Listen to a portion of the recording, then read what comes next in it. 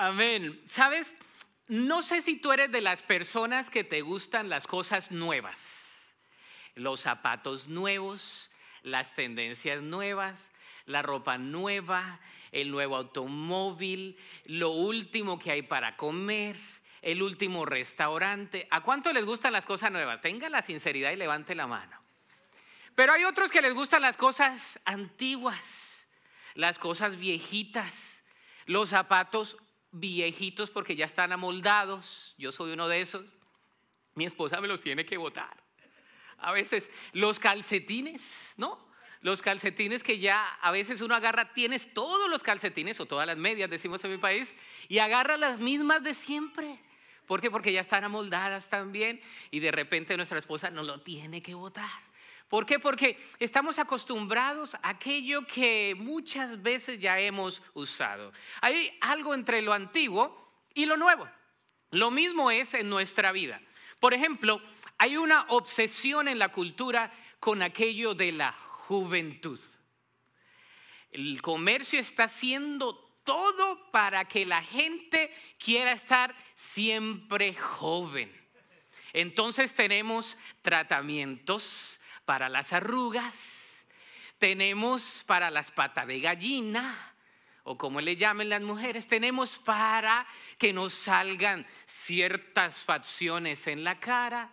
Hay una obsesión con la juventud, una cirugía por aquí, otra por allá si se puede y si se puede pagar porque hay una obsesión con la juventud. De hecho, leí la semana pasada que hay algunos doctores que están garantizando que al final de esta década quizás el promedio de la vida vaya a llegar hasta los 90 o 100 años porque están trabajando en maneras de cómo prolongar más y más la vida.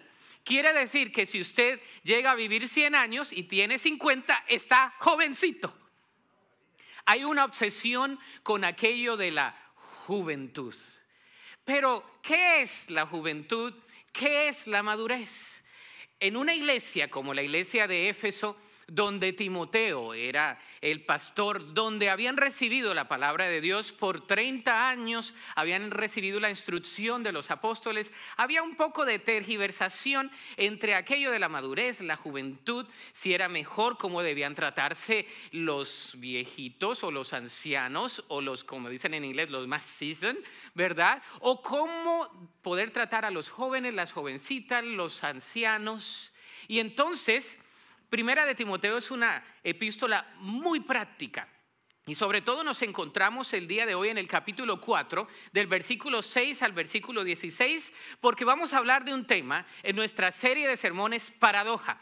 Hemos determinado que esta serie de sermones se llama Paradoja porque el reino de los cielos hemos sido llamados a vivir paradójicamente. Diga el débil, fuerte soy. Diga el pobre, rico soy. El último es el primero en el reino. Y el día de hoy vamos a ver cómo es que el apóstol le explica a su pupilo Timoteo de cómo se deben tratar en la iglesia entre diferentes edades. Y es así como vamos a ver el día de hoy celebrando la madurez en la juventud.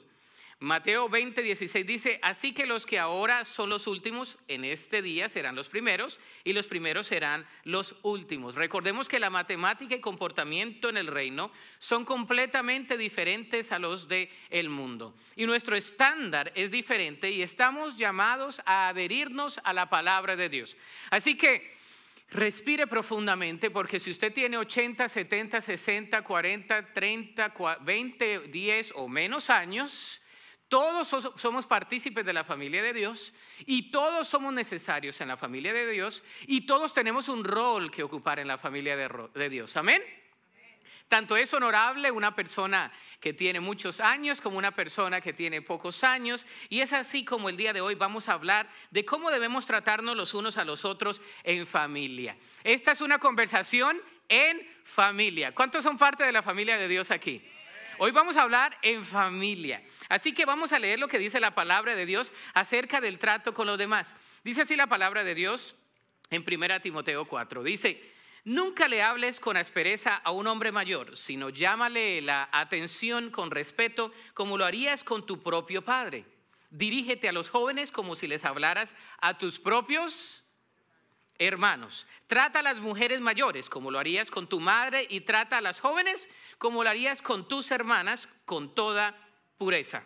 Atiende a toda la viuda que no tenga nadie quien la cuide, pero si ella tiene hijos o nietos, la primera responsabilidad de ellos es poner en práctica la sumisión a Dios en su hogar y retribuir a sus padres al cuidarlos. Esto es algo que le agrada a Dios. Ahora bien, una verdadera viuda, una mujer que realmente está sola en este mundo, es aquella que ha puesto su esperanza en quién? En Dios. Día y noche ora a Dios pidiéndole su ayuda. Pero la viuda que solamente vive para el placer está espiritualmente muerta en vida. Dale estas instrucciones a la iglesia para que nadie quede expuesto a la crítica. Aquellos que se niegan a cuidar a sus familiares, especialmente los de su propia ¿qué? casa, han negado la fe verdadera y son peores que los incrédulos. Wow. Para que una viuda esté en la lista de ayuda tiene que tener al menos 70 o 60 años, perdón, y haberle sido fiel a su marido. Debe ser alguien que haya ganado el respeto de todos por el bien que haya hecho. Crió bien a sus hijos, fue amable con los extranjeros y sirvió con humildad a otros creyentes, ha ayudado a los que están en dificultades, ha estado siempre dispuesta a hacer el bien. El versículo 11 dice, las viudas más jóvenes no deberían estar en la lista porque sus deseos físicos podrán ser más que la devoción a Cristo y querrán volver a casarse. De esa manera serían culpables de romper su promesa anterior. Y si están en la lista, se acostumbrarán a ser perezosas y pasarán todo el tiempo yendo de casa en casa, chismeando, entromeciéndose en la vida de los demás y hablando lo que no deben. Así que yo aconsejo a estas viudas jóvenes que vuelvan a casarse, que tengan hijos y que cuiden de sus propios hogares. Entonces el enemigo no podrá decir nada en contra de ellas pues me temo que algunas ya se han descarriado y ahora siguen a Satanás. Si una mujer creyente tiene parientes que son viudas, deben cuidar de ellas y no darle a la iglesia la responsabilidad. Entonces la iglesia podrá atender a las viudas que están realmente solas. Que Dios bendiga su palabra. Amén. Dios, gracias por tu palabra, gracias por tu presencia. Abre nuestra mente y nuestro corazón para ser receptivos al mensaje que tienes para nosotros el día de hoy. Lo pedimos en el nombre de Cristo Jesús. Amén y amén. Bueno, qué pasaje tan interesante. Vamos a ver algunas cosas fundamentales, algunos principios de este pasaje cuando hablamos de la familia de Dios. Lo primero es la belleza de la familia de la fe. ¿Sabía usted que somos hermanos en la fe? No importa de dónde seamos, usted puede ser mexicano, hondureño, salvadoreño, cubano, puertorriqueño, colombiano, venezolano, cubano, de donde sea en Latinoamérica o de aquí de Estados Unidos, pero todos tenemos parte en una familia a través de la sangre de Cristo, somos llamados hijos de Dios. Somos hijos e hijas de Dios. Y por eso nos llamamos hermanos y hermanas. Por eso en la iglesia decimos, ¿cómo está hermano? ¿No? Y a veces ni nos aprendemos el nombre porque hermano o hermana. Algunos son medio primos, ¿no? Algunos no son ni hermanos, pero este, decimos hermano y hermana, somos partícipes de la familia y de la fe. Y hay una multiplicidad, una tapestría de diferentes regionalismos, de diferentes personalidades, de diferentes costumbres en la familia de Dios. Somos diferentes. ¿Se imagina que fuéramos iguales en la familia? Qué aburrido sería. ¿No? Ahora, piensa en su familia. Su familia tiene personas muy serias. Su familia tiene siempre el que es papachoso, que llega a la casa y hace siempre una fiesta. ¿Tiene uno de esos? En su familia siempre hay un amargado. ¿No? ¿Por qué se rió? Siempre hay un amargado. Todos van a decir algo. Ay, eso es horrible. Siempre habrá un amargado. Y en la familia siempre hay uno que le da la espalda, ¿verdad? Al otro o, o, también por otro lado que le da la segunda, ¿verdad? Uno tiene una idea y hay siempre el otro que dice, yo también quiero hacerlo. Hay de todo en la familia. En la familia de Dios también hay de todo. Y entonces nos remontamos a la historia en la iglesia en Éfeso, primera Timoteo, hace muchos años, el Señor a través del Espíritu Santo le da en el escrito al apóstol Pablo y por ende a Timoteo, le dice, enséñale a la familia de Dios cómo se deben tratar. Y entonces comienza a ser muy práctico. Lo primero de la, de la belleza de la familia de la fe es que hay un estándar para todos. El estándar lo encontramos en el versículo 2 en la segunda parte del versículo 2, donde dice, trata a las mujeres mayores como lo harías con tu madre y trata a las jóvenes como a tus propias hermanas, coma, con toda pureza. Léalo conmigo, con toda pureza. Léalo otra vez conmigo, con toda pureza. ¿Cuál es el estándar? Entonces, hay un estándar para todos en la familia. Vamos a tratarnos con toda pureza. Y la palabra en el original pureza significa, somos los redimidos por la sangre de Cristo, entendemos que estamos en un proceso de santificación y la pureza es pedirle al Señor que nos ayude a tratar a otras personas de la manera que Él quiere que las tratemos. Reconocemos que tanto la hermana, el hermano, el tío, el abuelo espiritual está en un caminar de la fe. Y la pureza viene de que hemos sido lavados con la sangre de Cristo. Amén reconocemos que no importando de dónde seamos, que no importando la procedencia, que no importando el pasado, por la sangre de Cristo hemos sido redimidos, hemos sido justificados y ahora a través de la sangre de Jesucristo tenemos una participación en la familia de la fe. Qué bonito es eso. Hay una belleza. El estándar para tratar a todos es la pureza. Mateo 7, 12 dice, haz a los demás lo que quieras que te hagan a ti. Esa es la esencia de todo lo que se enseña en la ley y los profetas. Mateo 7, 12 es llamado como la regla de qué? Del oro.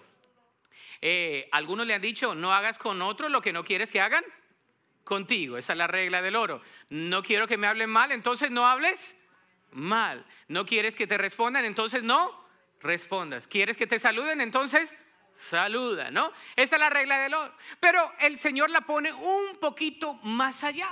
Cuando le preguntan al Señor Jesucristo, le dice, ama a tu prójimo como a ti mismo, pero también ama a tu enemigo. El Señor Jesús lo pone un poquito más allá y dice, no solamente se trata de lo que puedes hacer ahora, se trata de lo que el Espíritu Santo puede hacer a través de ti. Así que el estándar es hacerlo con pureza, hacerlo con santidad, hacerlo dependientes del Señor. Pero también nos dice la manera para tratar a otros. Debemos tratarlos como la familia de la fe. Entonces dice a los mayores, hombres y mujeres, con respeto, sin aspereza, como si fueran nuestros padres. Cuando estamos en la iglesia o cuando estamos en la familia, debemos tener respeto a las personas mayores. No le hables a una persona que es mayor como si no fuera tu padre o tu madre. Trátala con respeto.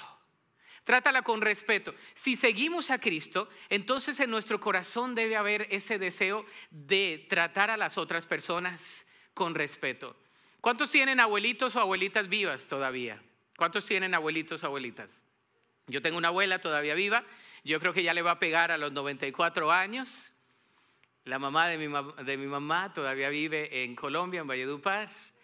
Y cada vez que uno habla con la abuela, ¿verdad? Cuando ya están en esa edad, ya como que es la época regresiva, ya regresan casi hasta la infancia, ya parecen niños en cierta instancia, pero comienzan a reírse de todo, comienzan a, a contar las historias de antaño y debemos respetar a los que son mayores, los jóvenes debemos respetar, los que están más jóvenes deben respetar a sus padres, los que estamos en la Edad Media debemos respetar a los ancianos. Y dice que debemos respetarlos como si fueran nuestros padres, con respeto. Ahora, a los contemporáneos, a los jóvenes en el contexto de Timoteo, como si fueran nuestros hermanos. Yo recuerdo, usted sabe, le he contado que mi madre murió cuando yo tenía 12 años, pero en la cama ella yacía y en la cama me dio muchas lecciones. Una de ellas es algún día vas a sentir atracción por las niñas. Y me dice, recuerda que cada vez que veas una muchachita, la debes ver como si fuera tu hermana y respetarla como tal. Dios tiene a tu esposa, Dios ha diseñado a tu esposa, no sabes tú ni yo dónde esté, pero lo que sí debes saber es respetar a las contemporáneas a ti como si fueran tus hermanas. Para los jóvenes, debemos respetar a los que son contemporáneos a nosotros, a las jovencitas y también a los jovencitos. ¿Cuántas veces se ve en las escuelas que se habla mal de las jovencitas o de los jovencitos? Y debemos que respetar. El respeto, debemos respetar a las jovencitas y los jóvenes deben respetar también viceversa. ¿Por qué? Porque la palabra de Dios nos dice así. Usted puede pelear con su hermana. ¿Cuántos pelean con la hermana? No levanten la mano. Mi hijo ya la levantó. Pero si alguien se mete con la hermana, usted la va a defender. ¿Sí o no? Si no es un mal hermano. Pero si se meten con su hermana, ¿usted qué? Va a defender a su hermana porque la sangre llama. Usted dice, no se va a meter con mi hermana.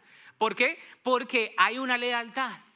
Ahora, no le estoy diciendo que defienda de la misma manera ni que se ponga a pelear con todo el mundo. Lo que estoy diciendo es respete a las otras personas como si fueran sus hermanas y los hermanos como si fueran hermanas, viceversa. La palabra de Dios no lo dice. La belleza de la familia de la fe no solo radica en que podemos ser de diferentes lugares, tener diferentes razas, etnicidades, diversidad, ser multiculturales, multigeneracionales, sino que podemos convivir como familia de la fe. Antes de la revolución industrial no había tanta división de edades. En el año 1930, con la comercialización de las tiendas por edades y de las escuelas por grados, se hizo más notoria esa división.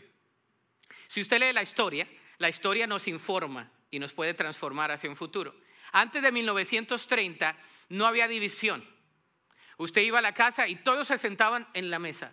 Desde el niño que lloraba, que estaba portándose mal, hasta el viejito, estaban todos en la mesa.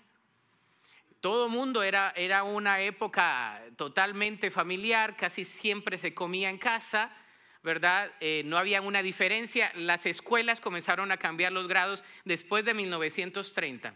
Comenzó a cambiar mucho esto en las escuelas por grados y se fue clasificando por grados. Eso es bueno, pero a su vez también ha dado una mentalidad de que la intergeneración que tenemos nosotros con otras generaciones, que a veces son diferentes a nosotros y no los podemos involucrar. Vemos a los niños a veces como si fueran una carga o a los adultos mayores como si fueran otra carga, ¿verdad? Y la juventud como que tienen toda la fuerza y que son rebeldes y los que están en la edad media si la hizo bien, si no, la hizo bien. El punto es que el apóstol Pablo le dice a la iglesia, ahora vosotros que tenéis a Cristo, en cualquier etapa donde estéis, servirle con pasión y devoción. Desde el niño hasta el adulto mayor. Amén. Desde el recién nacido, desde la niña que tiene menos de un año o un año que ya oramos por ella, por Kendra, hasta el adulto mayor que esté aquí, porque todos se ven jóvenes. No sé qué se echan ustedes, pero todos se ven jovencitos. Hasta el más anciano que esté aquí, todos estamos llamados a servirle al Señor. Somos una gran familia. Y lo bonito es que somos diferentes. Qué aburrido fuera que todos fuéramos iguales. Así que cuando usted tenga a ese familiar que le cae gordo, dele gracias a Dios. Porque sin él no habría a Chile en la relación familiar, ¿verdad? Sin el enojado no habría una oración para que el Señor le quite el enojo. Sin el guapatoso usted no hubiera celebrado en el momento que tenía que celebrar. ¿Por qué? Porque Dios nos hace diferentes. Ahora, así es en la familia de la fe. Proverbios 27, 17 dice, como el hierro se afila con el hierro, así un amigo se afila con su amigo. Me fascina Proverbios 27, 17. Como el hierro se afila con el hierro, así un amigo se afila con su amigo. Mi abuelito ya ya está la presencia del señor Arturo Aguirre, él afilaba, afilaba su presto barba, decimos en mi país, eh, con la cual se afeitaba todos los días y la afilaba así en una piedra. ¿Cuántos se acuerdan de eso? Para algunos muchachos dicen, oh, what is that, pastor? What are you talking about? I mean, is that like Asian? You know, it's like, a long time ago. Yeah, it was like a few years ago. Pero mi abuelito lo hacía así. Él afilaba con una piedrita y le hacía la piedra, le echaba agua y se hacía así, ¿verdad? Se afilaba. se afilaba. Y cuando no tenía una piedra, tenía otro hierro, que era así como grueso, y le hacía así. Y traía unos cuchillos, porque era una persona de campo, y afilaba los cuchillos con el hierro. La palabra de Dios dice que el amigo es como un hierro porque nos ayuda a afilarnos. Una persona diferente a nosotros nos va puliendo. Una persona igual a nosotros no nos va a pulir, pero una persona diferente nos va puliendo. La palabra de Dios dice que nosotros en la familia de la fe debemos ejemplificar la diversidad. Y por eso esta semana me gocé el día martes, porque el día martes a la una y algo tuve la oportunidad de compartir con los que estuvieron en el gathering. ¿Dónde están los muchachos que fueron al gathering? Levanten la mano los que fueron al gathering. Aquí están con las camisetas. Un aplauso fuerte para ellos, ¿verdad? Están con las camisetas, uno, dos, tres, cuatro, cinco, seis por ahí.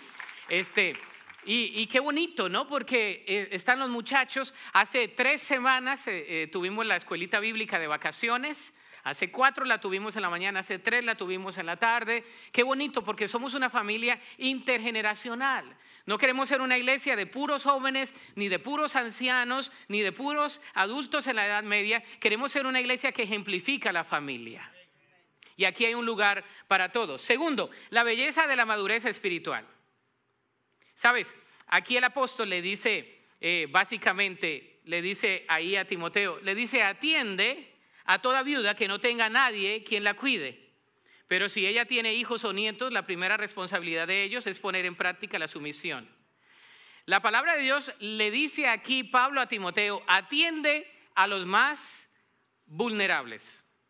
Pablo usa el ejemplo de las viudas, que muchas veces eran desatendidas, especialmente las que no tenían hijos ni nietos, ni nadie quien las cuidase. Los creyentes debemos tener un sentir por los más vulnerables y desamparados, porque ellos están en el corazón de Dios. Esto nos remonta al pasaje en el juicio final en Mateo capítulo 25. Ponga sus antenas así.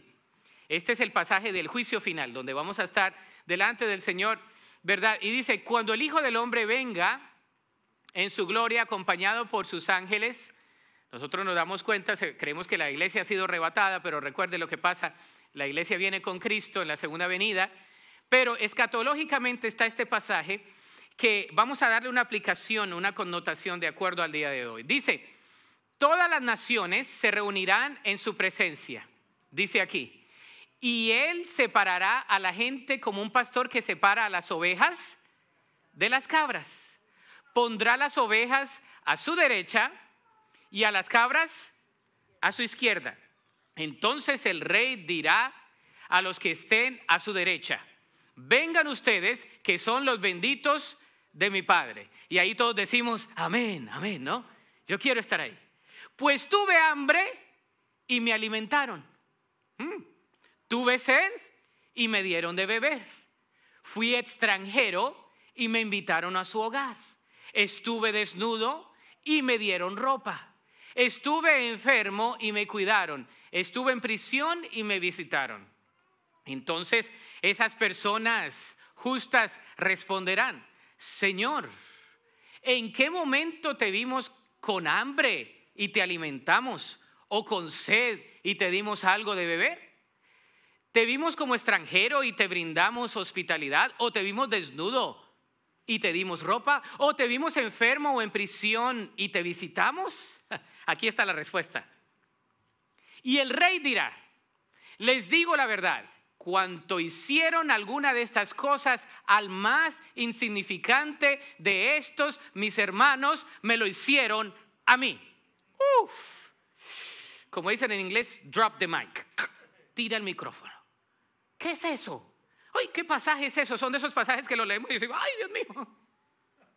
¿Cómo es posible? Bueno, la connotación, la aplicación el día de hoy es cuando servimos a una persona vulnerable, a una persona que tiene necesidad, la palabra de Dios lo pone en el plano espiritual que le estamos sirviendo a Dios. Cuando servimos al huérfano, a la viuda, al desamparado, cuando servimos al que no tiene familia, le estamos sirviendo al Señor. Amén. Ya el amén no se escuchó fuerte. haga, eh, predíqueme algo que me sienta mejor, pastor. No algo que me desafíe. No, el desafío es para todos. Y dice la palabra de Dios que estamos sirviendo nosotros al Señor cuando servimos a los demás. ¿Cómo responderíamos delante del Señor? Si el Señor viniese el día de hoy por su iglesia y el Señor nos preguntase cómo serviste a tu familia y cómo serviste a los demás, ¿cuál sería la respuesta? Entonces el Señor a través de Pablo le dice a Timoteo, enseña y educa a la iglesia. Debes enseñar a la iglesia y educar a la iglesia a cómo tratar a los demás. Debemos educar a nuestras generaciones a cómo tratar a los demás. Le recuerda a Timoteo de enseñar a cuidar a su propia familia. Le dice aquí, dale estas instrucciones, versículo 7 dice a la iglesia para que nadie quede expuesto a la crítica. Porque muchas veces las personas hacen las cosas porque no saben.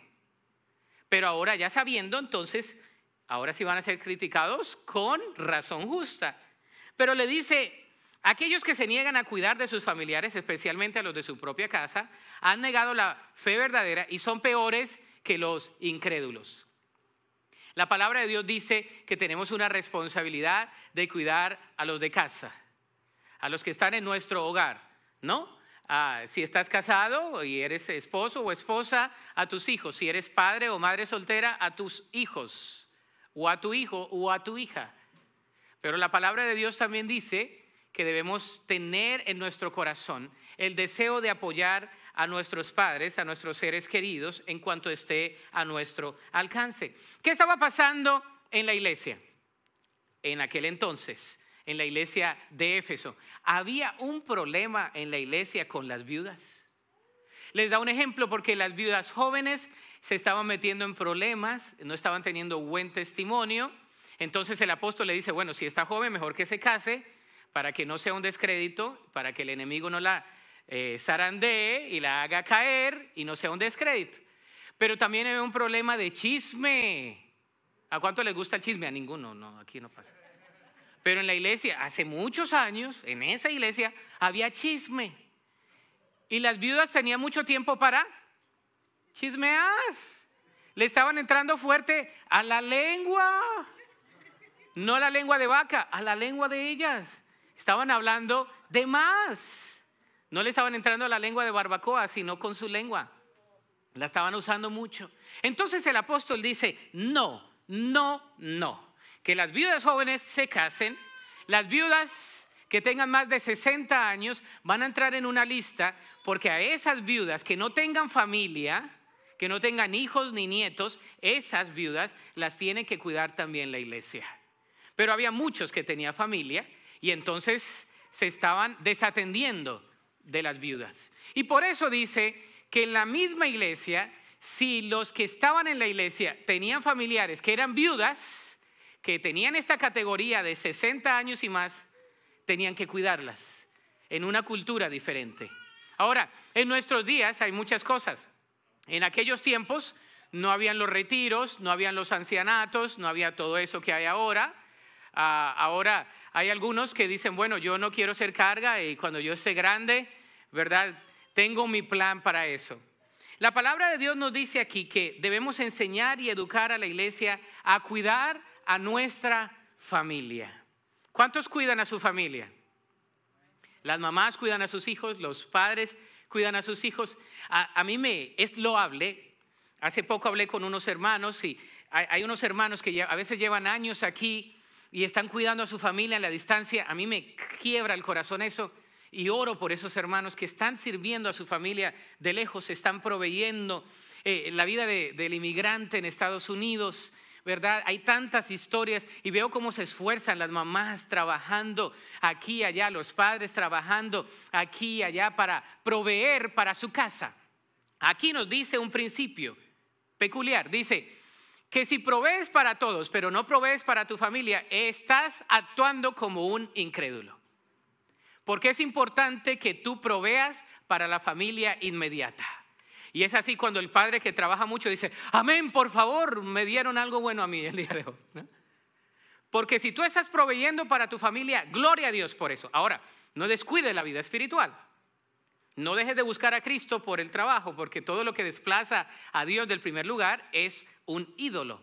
Hasta tu trabajo se puede convertir en un ídolo. Pero debemos proveer para nuestra familia, porque dice la palabra de Dios que si no lo hacemos, seríamos comparados como personas que no conocen de Cristo. Y qué tristeza sería eso. Qué tristeza sería eso. La familia es la que más se ofende entre sí. ¿Cuántos se han peleado entre familia? Levante la mano. Ningún, voy a, eso no pasa aquí, hermanos. En Dallas todos son bien, bien santos. Yo estoy impresionado de ustedes. Aquí no hay pecado alguno. Aquí ya estamos esperando que el Señor venga y vamos a salir con las alas. Uh, gloria a Dios. No, en la familia nos disgustamos. ¿Cuántos se han disgustado con la familia? ¿Cuántos se han peleado con su esposa o su esposo? Ninguno alzó la mano. ¿Cuántos se han peleado entre hermanos, no? ¿Y cuántos se han tenido que perdonar? Todos. En la iglesia es lo mismo. ¿Sabes? La iglesia, cuando la iglesia es chica, yo he estado en procesos de cuando la iglesia es chica o cuando la iglesia es grande, que ya la gente no se conoce toda. He estado desde que éramos seis hasta que fuimos muchos.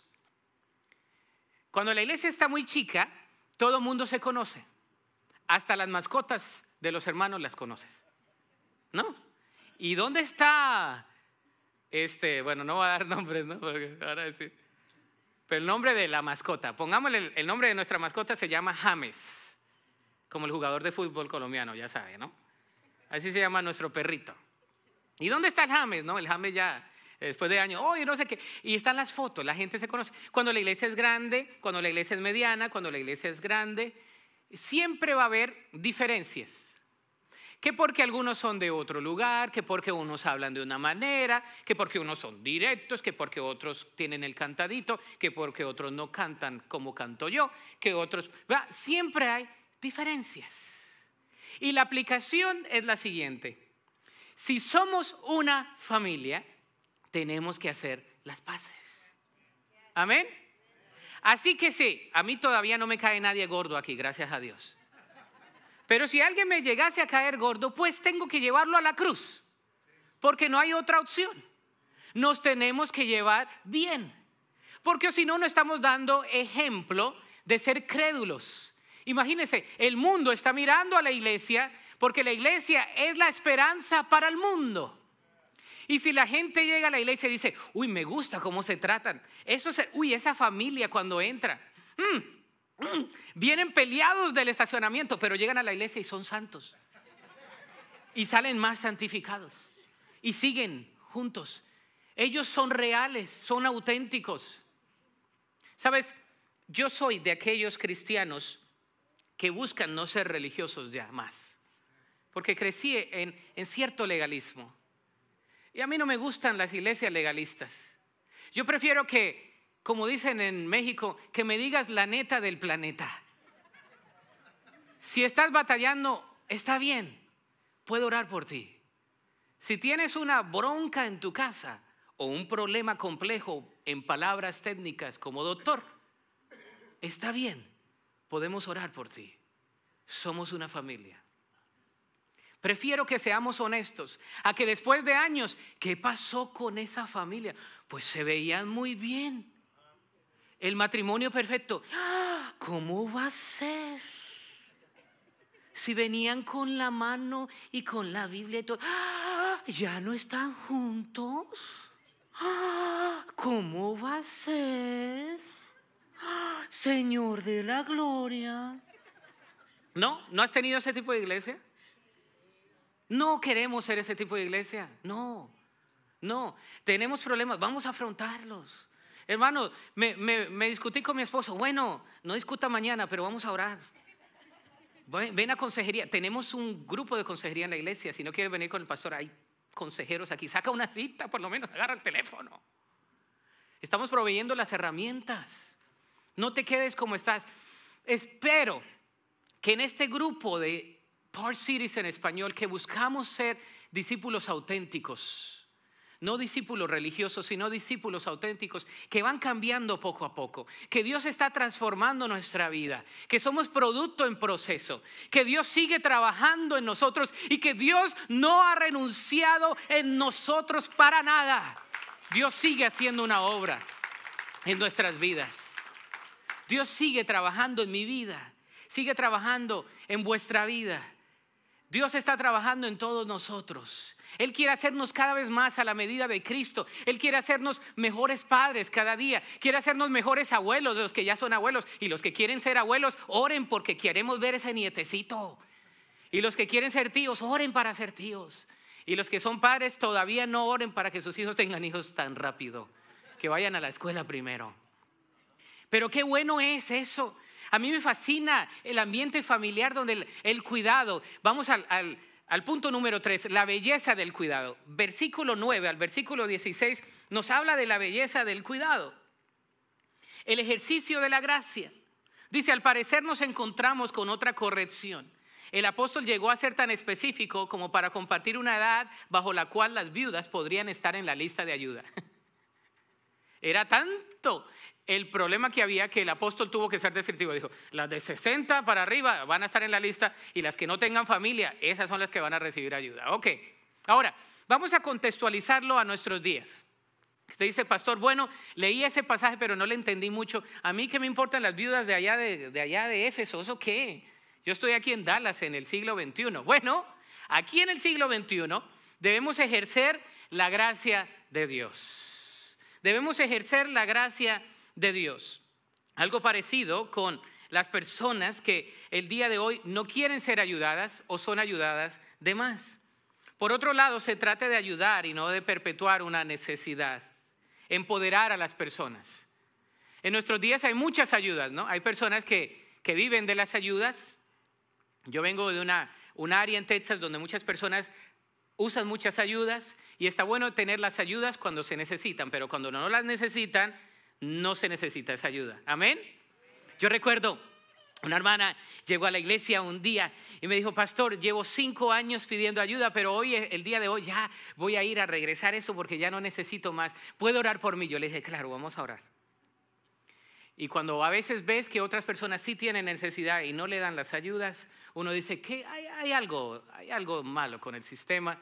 Pero en nuestra vida espiritual, Vamos a contextualizarlo a nuestro corazón, a lo que Dios nos ha dado. ¿Cómo podemos ayudar a los demás? Y debemos ejercitar la gracia de Dios y debemos aplicar la sabiduría, ejercer la gracia de Dios, saber que Dios no ha terminado su obra en nosotros y que somos un conducto de su gracia.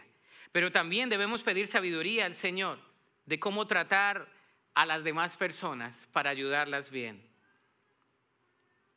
¿Cuántos quieren que el Señor les dé más sabiduría? Nuestra oración diaria debe ser, Señor, dame más sabiduría. Todos los días debemos decir al Señor, dame más sabiduría. Por favor, Señor, dame más sabiduría. La aplicación es la siguiente. Tratemos a todos con respeto y con amor. Con respeto y con amor. Si usted es menor, si usted es mayor, trate a esa persona con respeto y con amor. Si usted tiene personas en la iglesia que son mayores, trátelas como si fueran sus abuelas. Yo tengo tantas abuelas adoptivas. En el sur de Texas tengo algunas, en el centro de Texas tengo algunas y estoy buscando unas en el norte. Ya tengo una por ahí. Porque me amo esas personas que aman a Cristo hasta el final.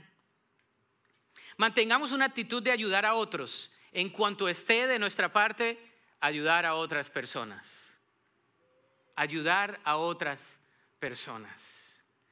Tener esa actitud de ayudar, especialmente a los de la familia de la fe. Al hacerlo honramos a Dios y honramos a los demás. Mantengamos un buen testimonio como familia. Debemos mantener un buen testimonio como familia. ¿Y cuántos de ustedes quieren ser mejores como familia? Otro amén del hermano de al lado. ¿Cuántos quieren ser mejores como familia? Todos, ¿verdad?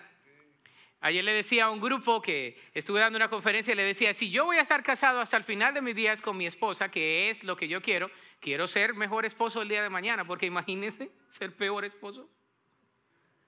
Uy, no, qué vida tan miserable. Es mejor mejorar cada vez más.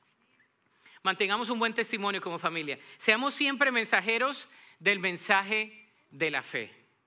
Seamos mensajeros del mensaje de la fe. El mundo está buscando a personas que tengan fe. ¿Y sabe cuál es la esperanza para el mundo? Usted y yo. Dígale al hermano que está al lado, tú eres la esperanza. Tú eres la esperanza. Te voy a pedir que te pongas sobre tus pies en esta tarde. ¿Cómo puedes mejorar con el trato con otros en esta semana? ¿Cómo podemos mejorar con el trato de otras personas en esta semana? ¿Cómo podemos mejorar? Acuérdese que dijimos que estamos hablando en casa, ¿no? Como familia. En algo podemos mejorar. Quizás Dios te trae a mente a los de tu propia casa. Quizás en la mañana sería mejor decir buenos días que salir y que nadie se dio cuenta. No tenemos la vida comprada. Quizás al regresar a casa decir, me fue como la cachetada, pero aquí estoy. En vez de decir, no me hables, que no quiero a nadie. Pues bueno, pues no te voy a hablar. Estamos hablando en familia, ¿no? Les dije que ya cero religiosidad conmigo. Qué bueno sería en la mañana levantarnos y darle la despedida a nuestra familia antes de salir, a nuestros hijos. A veces a mí se me olvida, pero casi todo el tiempo lo hago. A veces no. A veces cuando llego el primero que baja es el perrito James. Y le canto la canción al perrito para que los niños vengan. Todavía estamos en esa etapa. Atesora los grandes momentos, que usualmente los grandes momentos son los más pequeños.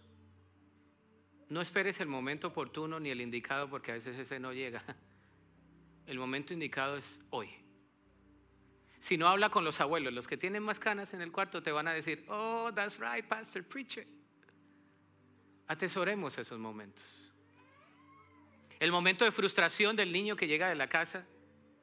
El momento que está llorando la niña, ¿sabes? No me molesta mucho porque está saludable, ¿no? El momento donde los niños están corriendo porque hay otros niños que están en el hospital que no pueden correr. El momento donde tu hijo no se calla como el mío. Pero hay que atesorarlo porque después ya no va a estar ahí. Ya se va a ir. Estamos hablando en familia. ¿Sí o no? Oh, he's hitting home. Está llegando aquí al corazón. Quizá estás frustrado, agotado o agotada. ¿Sabes? Hoy no voy a hacer un llamado al altar. Hoy quiero que estés ahí, ¿dónde estás? Y los que están en línea, ¿dónde están?